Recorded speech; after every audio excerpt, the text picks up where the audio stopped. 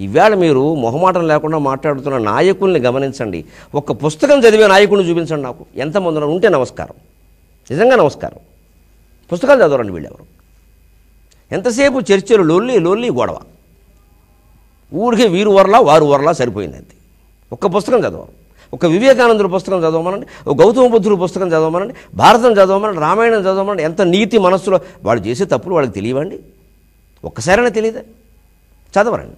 వాళ్ళకి తెలుసు చదివితే ఇవన్నీ మానేయాలండి ఈ శాస్త్రాలనే బేమలు చదువుకోవాలరా మనం చదవకూడదురా అంటాడు ఇక్కడ. మొత్తం నీతులన్నీ ఒకళ్ళకి మిగిలాయి అనమాట మొత్తం అవినీతులతో ఒకళ్ళు మిగులుతాయి. వాడు చదవడం మానేశారు. శాస్త్రేష్వకుంఠిత బుద్ధికి దిలీపుడు ఎంత రాజకీయ వ్యవహారాల్లో మునిగిపోయినా రోజు ధర్మశాస్త్రం అరగంట సేపైనా చదివేవాడు. రోజు అరగంట సేపు ఇక్కడ భక్తి టీవీ దగ్గర కూర్చున్న భారతం వినమన్న దేశం ఎంత అవినీతి రహితం అవుతుందో. మనసుకు ఎక్కుతాయి మాటలు ఖచ్చితంగా. చీ ఎందుకు బతుకుతున్నామని ఒక్కసారైనా అనిపిస్తుంది. ఇన్ని కుంభకోణాలు అయితే జరగవు. ఆ పైన నాయకుడైన వాడికి ఈ పాండిత్యం నీతి ఉంటే సరిపోదు. మౌర్వీ ధనుషిచాతత ఎప్పుడూ ధనుస్సు వింటి నారిలా లాగి పట్టుకునేవాట. దిలీప్ అంటే వేసేస్తా జాగ్రత్త.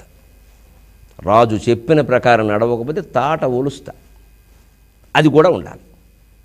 అంతేగాని శత్రువులు దండయాత్రకు వస్తుంటే అవినీతి దేశంలో పెరిగిపోతూ ఉంటే అన్నీ బయటపడుతూ ఉంటే ఒకనాటికి దేశం అదే బాగుపడుతుంది. ఇంకోసారి జరగకుండా చూద్దాం. ఇంకోసారి జరగకుండా చూడడానికి నీకు పదవి ఇచ్చింది. వెంటనే చర్య తీసుకునే సమర్థత ఉండాలి. కాస్త కరుకుగా కఠినంగా ఉండాలి ఉండి తీరాలి. మళ్ళీ ఆ కరుకుదనం గుండెల్లో ఉండకూడదు. గుండీల్లో తప్ప. బయటికి కనిపించడమే అంతే చొక్కా గుండీల్లో. ఇక మళ్ళీ అది పైకి అంతే. అలా ఉండకపోతే రాజ్యం నడవదు గుండెల్లో ఉండకూడదు. ఉంటే వాడి గుండెపోటు వచ్చేస్తుంది. ఇది మహారాజుల